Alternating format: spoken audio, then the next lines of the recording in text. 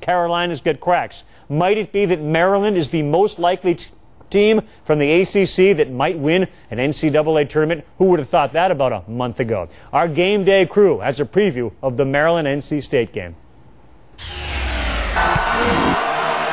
Bradley Center already rocking in anticipation. Golden Eagles of Marquette spoiling Pittsburgh's opportunity to get a share of the Big East title.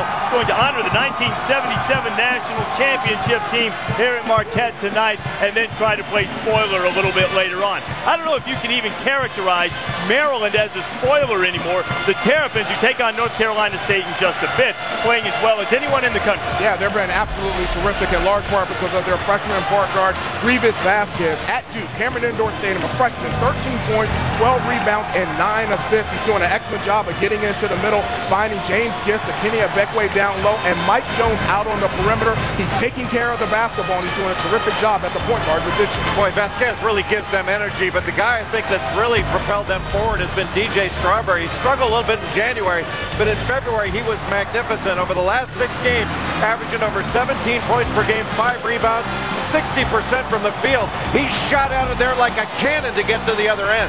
But when we look at the charts right now, everything has been upbeat since they've had that losing streak. Now with the five-game, six-game winning streak, their points are up to 81. Their field goal shooting, the threes, is up to almost 44. But look at their defense. And the reason why their defense is that good is because they're pressing, going full court, wearing you down, and that defensive pressure is part of the reason why they're 6 0. We'll have more at halftime on our game tonight, Pittsburgh and Marquette. And of course, we'll get you ready at 8 o'clock Eastern Time. College Game Day, driven by State Farm. All right, Rece, thank you very much. So the door